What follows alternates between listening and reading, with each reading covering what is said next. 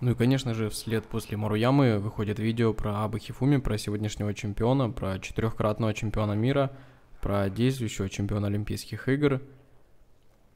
Абы Хифуми действительно самый лучший тюдеист данной весовой категории, это бесспорно. Настоящий доминатор, человек, который не оставляет шансов никому, не оставляет просто камня на камне ни от одного из своих соперников. Идеален во всем.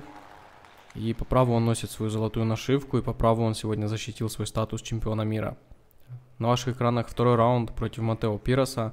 В синем гимоно его оппонент из Италии, которого он уже успел бросить своим любимым приемом Осотогари захватом за два рукава, а теперь еще и заканчивает схватку броском Соды Цурикумигочи на Япон. Очень уверенно, очень быстро, как и его сестра тоже сегодня, которая защитила свой титул, стала чемпионкой мира.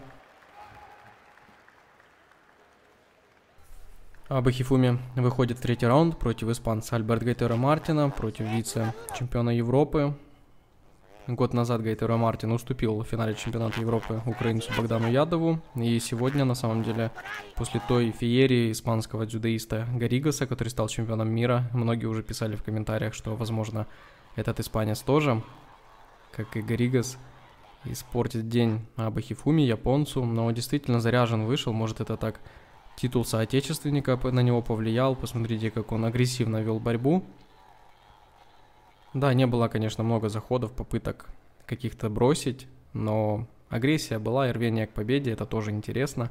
И абы это принесло немалое количество неприятностей, потому что против активных и агрессивных дзюдоистов бороться непросто, не просто взять ситуацию под контроль, осадить, скажем так. Но в этом эпизоде Аба берет свой захват, и бросает оппонента на вазаре за несколько секунд до конца данной встречи.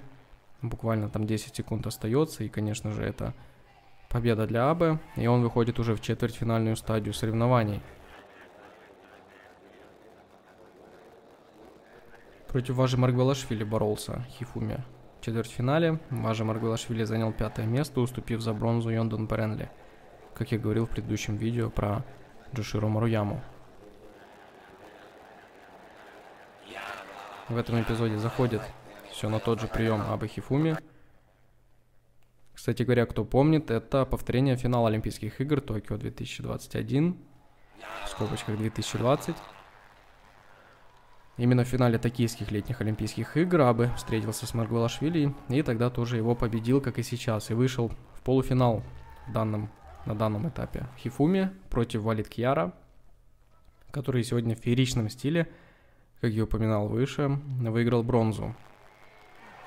И буквально 30 секунд понадобилось Абы, чтобы бросить своего соперника Валида. И обратите внимание, многие внимательные зрители обратили внимание на то, что упал наушник.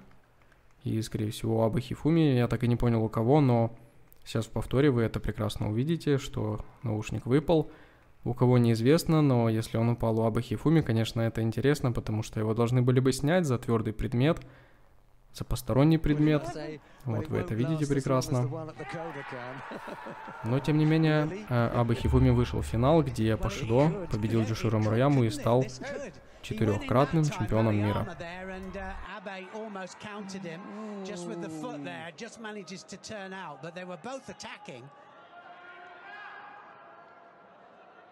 Oh dear.